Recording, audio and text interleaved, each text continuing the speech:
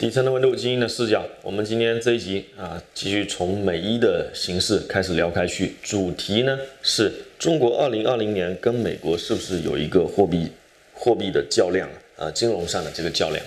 那美伊这个形式，我们应该说啊，可以看得出来，现在今时今日的世界局势来说，只要是没有围绕着中美关系本身进行展开，就是要直接的啊，不能太间接。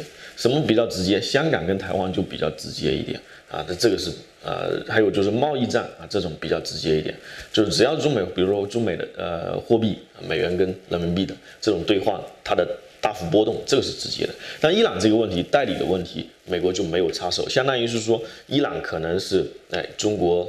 呃，联系更加密切一点，因为跟美国更敌对。那如果美国跟伊朗再在第三方再打代理人战争，再这么麻烦，那恐怕呢，美国可能真的会被拖到泥潭里面去。所以我们看到国会现在限制了特朗普，呃，他动用武力在中东，这个就是大家呀，精英阶层呢，都把这个注意力，呃，围在中美关系边上，分叉的事情暂时不能再做了。所以我们说了，现在今时今日，我们如果否否认 G two 是有多么大的错误，哪怕是川普先生啊，以及国会，他们都认可。现在，呃，其他的事情纷争是次要的，主要的还是中美方向上。所以啊，没有爆发真正的冲突。应该说，美国忍气吞声啊，应该是有不少程度的。要按以前的路子走，那你这个伊朗，你还地区性大国呢？呃，跟苏联都能够搞到那么紧张，都要呃。都快要爆发呃更剧烈的冲突。好，那我们再转到现在我们的主要内容来说，就是那如果是二零二零年这里这个美伊局势按现在这个形势不停的缓和下去，没有出现更多的意外变动，那么接下来会发生一些什么事情？我们前面也有一个简单的判断，可能美国跟中国的这些军力对比啊，真正实战能力啊，考验到呃考虑到武兵器的。的先进程度啊，这些方方面面，可能美国是十分，大陆是两分，但是假以十年之后啊，中国大陆可能会达到四分，美国可能还有十分，啊，还是满分十啊十分这样的对比，那么美国这个呃拥有一个五倍的关系，一个数量级的这种优势就会慢慢的消散，所以必须得及早的把这个优势用出来。那我们看一下现在在。二零一九年，我们看香港的问题啊，我一直是把它归类为舆论上的这个冲突、舆论战。那贸易战呢，也已经在开打了。但是有一个问题，就是这个金融战整体形势还是比较稳定的。比如说，我们讲一个关键的离岸人人民币的汇率，离岸人民币吧。那它现在啊是在六点。九二的样子，现在是一月十号啊。那六点九二这个情况，从前面的七点一九，慢慢的出现了一个回落。那么整体的这个波动呢，应该说没有让中国大陆出现很尴尬的局面。那其他方面，比如说国内的房价下跌，这个调整呢，应该说也没有引起过度的恐慌。虽然说很多城市二手房的这个交易价格是跌了百分之二十，甚至更多。那甚至很多银行呢。是出现了暴雷的情况。那金融体系内部呢，很多小的调整，P to P 啊这些问题，呃，包括呃一些更加这个大型的机构啊公司都出现了这种财务的呃问题，但是呢，几乎没有出现什么大的问题，因为本身一些调整是自己就要进行的，而。出于美国这边或者说中美之间的关系导致的金融风险，目前来看还仍然没有出现。不像贸易战是说有一些订单是确确实实出现了对打对折的情况，甚至百分之七八十没有。所以贸易，所以舆论跟舆论跟贸易是两个比较高阶一点的事情，但是中间一直缺的这个金融的方向，而这个金融方向其实已经开了头，就是我们刚刚说的二零一九年的香港的问题，这个是。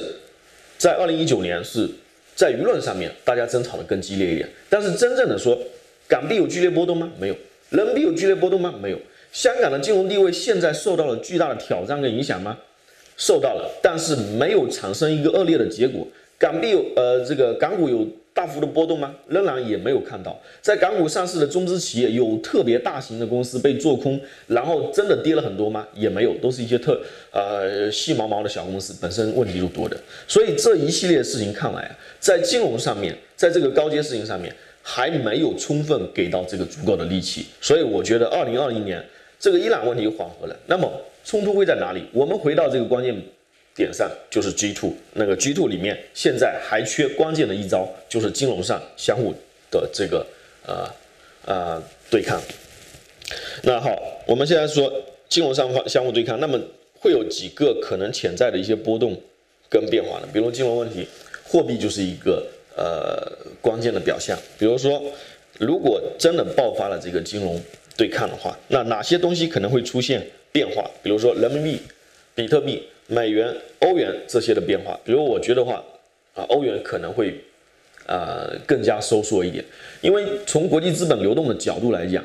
呃，中美肯定是更加能够拉拢的呃情况。那么欧元可能在整体上面，如果说你是资本家啊，你会愿意投资很多很多钱，把所有的靶向压到意大利吗？压到西班牙吗？那边的劳动意愿没有那么强，科技创新活力也没有那么高是吧？人口呃老龄化不说比日本、中国严重，但是也不是很年轻的国家。那如果从人口老龄、人口红利，也应该去印度呀，对吧？如果从科技创新，应该去。呃，美国呀，或者是来中国大陆呀，啊，从什么角度来考虑啊？最多就是一点点避险，可能可以去西班牙、意大利，当然也有很厉害的法国跟德国，特别是德国，是吧？那但是毕竟是少，所以欧元呢可能会受到削弱。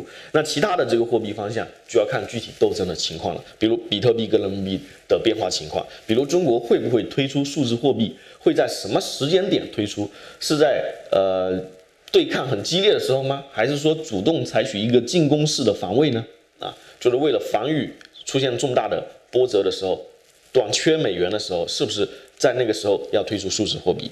那什么原因又会导致美元短缺啊的这些情况？因为现在中国还必须要强调外汇储备，才能稳住人民币的价格，才能稳住啊这个世界各国跟中国贸易时的信心。啊，还是需要靠美元的这个背书，外汇储备嘛，啊，还是在公布这个关键的数字。那好，我们看其他方面是什么呢？比如更小的一些变化，国内的话，呃，无论是出于欧美的西方的压力，还是说国内金融体系本身的低效，啊，以及过度往地方政府跟国企倾斜的这么一个现实情况来说，啊，应该说。呃，开放是一个共同的结果，国内国外的压力来说都必须要开放，所以这个是一个呃比较肯定的事情，比较确定的事情。比如还有一些现在说这个西方呢可以到中国来做期货啊，进行独资的这么一个操作。所以数字货币什么时候推出？国内的金融开放以及开放到什么程度，这是国内会给的一个比较大的一个变量。但这两个变动的程度主要取决于看一下，因为美国主要是进攻方。看他怎么做，就是在美伊冲突、美伊这个事情慢慢的削削淡之后，看一下之后这个事情是怎么变动的啊？那我们再说的实际一点，除了人民币这个之外，我们说那以人民币计价的，比如说黄金、石油跟房地产的这些价格怎么看？包括以美元计价的这个怎么牌价上的变动，人民币跟美元的变动之下的这几这些品种，应该说呃很多东西是人注意力的一种表现，比如说。黄金跟房地产实际上整体的交易量是比较少的，呃，北京、上海有多少套房子？嗯，应该是几百万套。那它每周能、每天能成交多少套呢？啊，比数量是很低的。黄金也一样，全球黄金的储量有多少呢？极大极大的一个数字。但是现在在市面上买卖的黄金，就是国与国之间的流通的黄金有多少呢？其实比例也非常非常的低。黄金的这个变动情况，其实真实的交易来的很少，真实的交易反倒是我们老百姓去。呃，商店买黄金，这个交易量可能比国与国之间的呃不会小多少，呃，那从这个角度来讲，那这个黄金主要是一个储量的问题啊，是一个避险的问题，因为你这个成交量本身就非常非常的低，占总总体比例。那就不能反映供需关系啊！真正的供需关系是想象出来的，而不是真实的交易的供需关系。就是我觉得可能大家会缺黄金啊，我觉得可能未来会有风险，那么我们在心理上购买黄金，这个就是期货呃的一个巨大的变动。那期货这些的信心啊，这些都来自于啊市场上的信心，这些信心就来自于大家心里的猜测啊，目光的投射，就是看一下对哪一个部分会更加有信心。那黄金跟房地产是交易量比较少，但是石油就不一样，石油的交易量是非常大的，而且这玩意儿跟黄金不一样，黄金储存它是一旦生产出来，每天生产出来就每天都有这么多的消耗，呃，跟电力差不多一样，你发电量跟用电量实际上是一样的，要不然你放哪存储呀？啊，没有哪个国家有那么大的存储空间，最多存六十天到九十天的战略储备，所以你产多少销多少，那这个是来自于什么呢？石油的变动总体。啊，我们要绑定美元来考虑，就是它对于美元的需求市场上到底会有多高？那中国可能在金融上面的压力的时候，在考虑金融上压力的时候，要考虑到，那对美元的需求就是对于石油这个需求能够获得多少石油的一个关键。那对于石油的需求就会转化为对美对美元的需求。那这样其实呢，呃，这个呃油价在未来也会有一个巨大的这个变动。那当然我这个。呃，整体的猜测也跟以前也跟大家说过。好，那我们刚才聊这么多，那现在金融战的目的是什么？啊，当然是想相互的呃抢钱呢，那相互的争夺资源。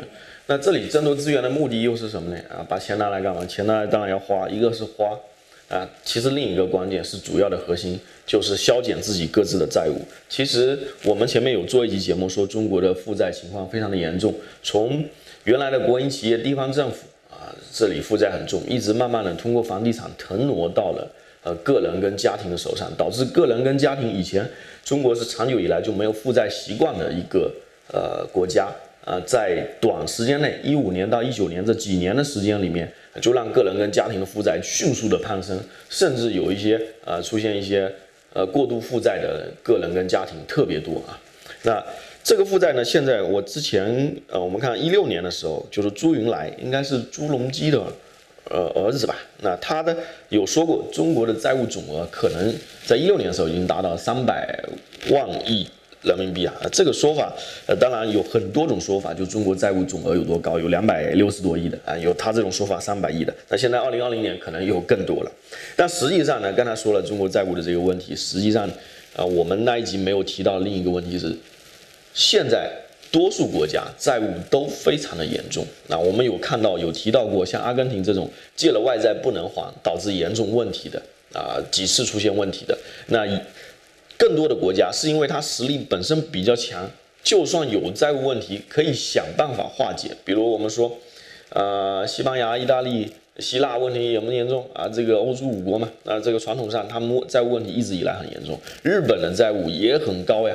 那美国的债务现在说是政府有二十二万亿美元啊，这个应该说也比较高，所以这么争夺来争夺去这个债务，但我们前面讲那集债务的时候，债务是可以核销的，它跟黄金一样是一个呃存量的问题，主要是一个存量的问题，存量的问题要解决存量的问题，主要是一个信心的问题，怎么核销这个呃自己的债务，就通过金融这个争夺就可以想办法啊，用对方的信用。帮自己核销自己的债务，然后能够轻装上阵的往前冲。那怎么让自己国家的债务核销呢？那美对于绝大多数国家来讲，有自己比较擅长的地方，或者叫比较优势啊，经济学里叫比较优势。就我这个国家，比如说特别能够生产葡萄酒，只要我这个我这国家很多负债，只要我这葡萄酒越卖越贵，哎，那我这债务就核销了嘛。大家都对我有信心，葡萄酒未来一定是涨价的啊，那这个就可以这样做。但是对于中美两个国家来说，很很尴尬的一个事情，美国比比较全面的高科技啊，高科技领域基本上没有它不太擅长的啊少啊。那中国呢是全工业门类，没有中国几乎呃没有中国不生产的工业产品，几乎是这样啊。当然也有少数门类啊，发动机啊什么这些这些东西是不不生产的，极少。那这个这个时候都是全面的比较，这个时候核销核销起来就难度非常大。那什么办法呢？就是靠货币的扩张来相互核销。那对于具体的产品来说，对于中美来说，一两种产品剧烈的涨价跟跌价，恐怕很难核销整个债务。所以能够直接核销的，就是围绕，比如说中美两个国家啊，就是说，只能围绕人民币对美元整体这一揽子货币来进行核销。其他的，比如说单个产品的涨价，比如我们前面一直聊起的原油，还有比如说黄金。那说黄金，美美国黄金储量很大吗？是很大。那中国黄金储量也不少啊。是吧？这个中国黄金长期以来就不出口了，呃，很长时间以来不太出口，后来干脆就不出口，啊。那这样的情况是，就算黄金大幅的上涨，中中国也有办法。那原油也是这个样子，原油的话，啊，原油大幅大幅上涨是对市场有。大量的大量的石油需求，但是啊，我们也知道石油还有其他方面的问题啊，相互制衡很严重。仍然就是要回到桌面上来，就是一揽子货币，一揽子东西全面的加在一块儿啊，争夺信心。所以这个金融战的话就比较复杂，就它需要舆论战跟军事冲突，呃，部分的军事冲突对峙对抗来进行金融战，因为金融本身中美两个体量实在太大。没有办法直接的进行呃这个人民币跟美元的这个相互的啊剧烈的这个变动，就所以很多观众说，哎呀贬到二十什么东西，这个就是这样什么，too simple，sometimes naive，就是你有时候这个想法就是一下贬这么多，这个是不是稍微天真了一点？为啥天真？中国这么多种工业产品，你说中国一下子贬到二十，那这工业工业产品都不要钱了，我 一下就被抢光了，抢光了，这就是把信用收回来了。聚拢了信用，人民币能贬这么多吗？所以说，这里我们也可以反过来反推分析，为什么？诶，舆论战也爆发了，军事也有一些对峙，是吧？美美国军舰有时候也通过海台湾海峡。那香港呢是一个金融中心，那舆论战都是在香港爆发的，但是金融却没问题，因为我们刚才说的这个问题，金融它必须是全面的对抗才能解决这些问题，所以它就从旁边开始绕开啊，从这个呃。舆论啊，这个军事啊，这些方方面面啊，后面可能会有一些其他的因素加进来。好的，那我们这集内容就聊到这里。其实总结一下，就是现在的这个中美关系几乎是没有地缘政，你每一个地缘政治要爆发冲突，就一定是要回到中美的这个桌面上来，否则它冲突也冲突不起来。假如回不到中美桌面上来的话，可能伊朗这个就是这个问题。美国国美国的精英阶层认为，这个时候没有必要跟伊朗爆发那么。样子的一个冲突，所以我们后半部分又聊了这个，呃，中国金融开放这一方面的问题。那啊，更多的就抓手，到最后说到底就是人民币对美元本身的价格是金融战最关键的核心。只有通过这个升值贬值，才能影响整个国家的信心，才能帮自己核销债务。因为中美两国。它不光是有拥有普通国家的比较优势，而是全球性大国。作为全球性大国，它拥有全面全能的优势。这个时候，你只让一两种商商品涨跌，恐怕未见得能够影响整个国家的未来。好的，那我们这期内容就聊到这里，感谢大家收看。